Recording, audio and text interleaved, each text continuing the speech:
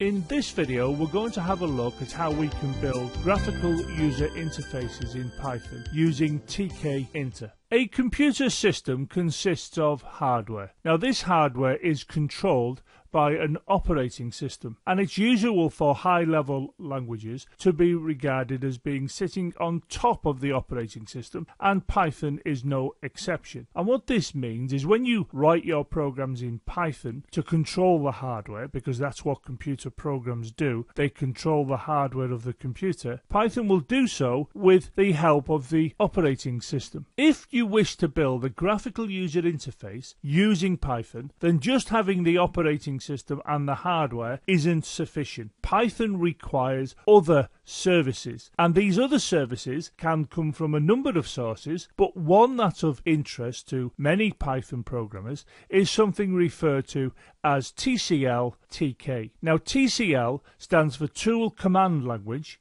It's a scripting language with its own interpreter, and TK is a toolkit for building graphical user interfaces. The thing about TCL TK is it's not Python, so you cannot control and access the services of TCL TK using Python like syntax. So what in fact has happened, another package is introduced and this package is referred to as tkinter and what it acts as is an intermediary between Python and TCL TK. In other words, tkinter allows you to use the services of TCL TK but using the syntax of Python.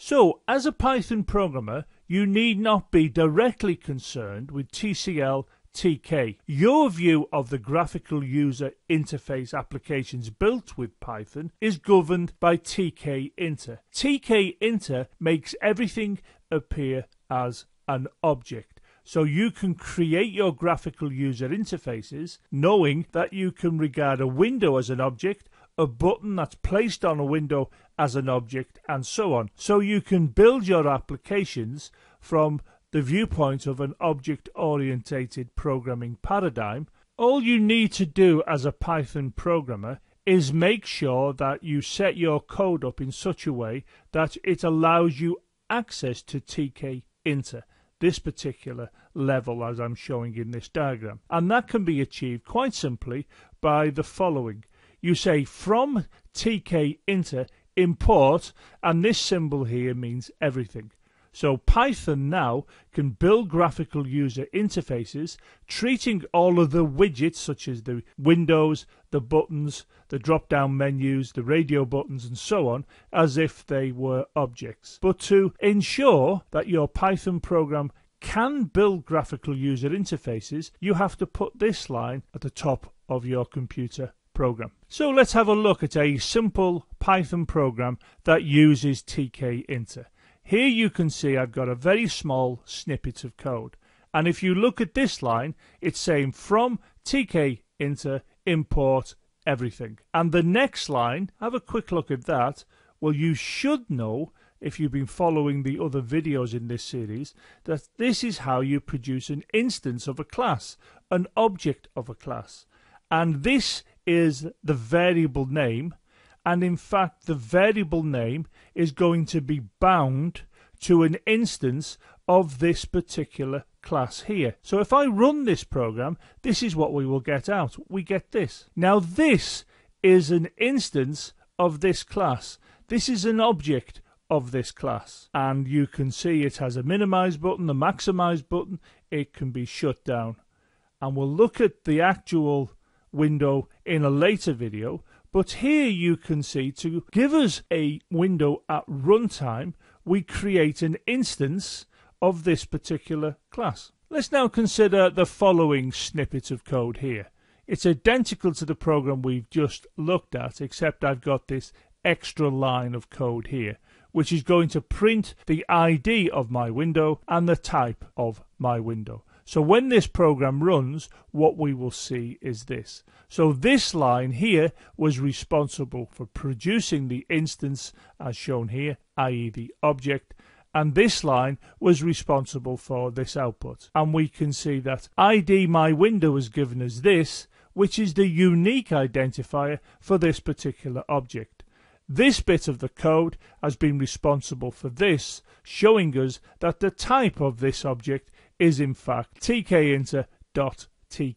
So what this line of code has actually done, it's allowed our computer program to treat the widgets that make up a graphical user interface and this window here is an example of a widget within the graphical user interface as objects. Now how TCL TK actually treats the graphical user interface widgets, we don't need to worry about as a Python programmer.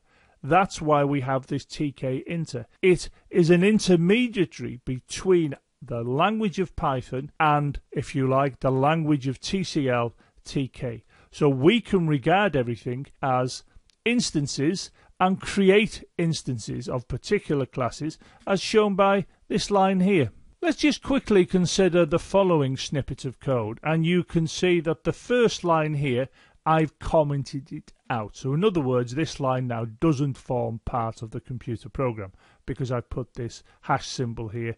This is treated as a comment, not as a program statement within the program. So if I now run this, this is what I get. And you can see it's coming down here and it says name error, name TK is not defined.